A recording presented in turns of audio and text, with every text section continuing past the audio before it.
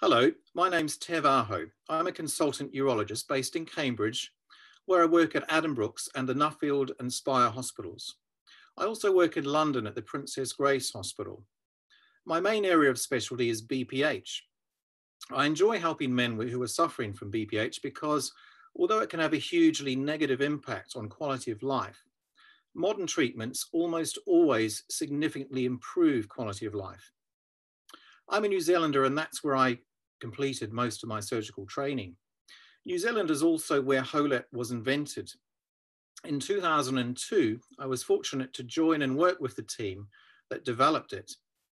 I then moved to the UK in 2003 and was one of the first to offer HoLEP here. Now having done around two and a half thousand HoLEP procedures, I'm the most experienced HoLEP surgeon in the UK.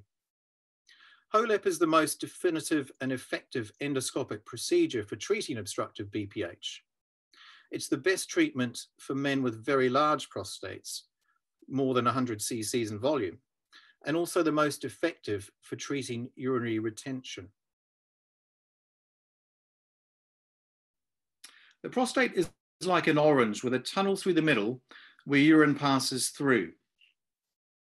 Like an orange, it has two major components. The inner part, which is like the flesh of the orange, this is the bit that's affected by BPH. There's also an outer part, which is not affected by BPH, which is like the skin of the orange.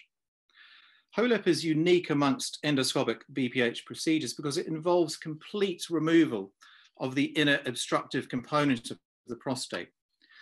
It's like peeling the entire orange away from the skin internally and then removing it, leaving a very wide open channel.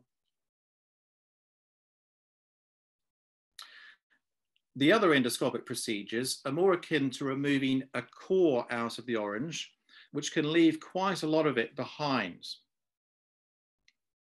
Partial removal of BPH is more likely to cause persistent or recurrent urinary problems than complete removal. HoLEP is more technically challenging to perform than Rezum, Urolift, green light vaporization, and aquablation, which do not require the same level of experience. So to get the best results, you need someone very experienced. In the hands of an expert, you can expect significant improvement in symptoms as measured by the IPSS score, with a low risk of urinary incontinence and erectile dysfunction. If you are unable to urinate at all and are stuck with a catheter, you can expect a 99% chance of becoming catheter free after HoLEP.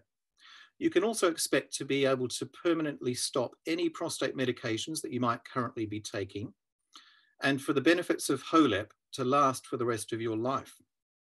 When looking for a HoLEP surgeon, don't hesitate to ask how many procedures they've done and what their complication rates are. Reading reviews from previous patients and the Prostate Matters website can also help in choosing a HoLEP surgeon.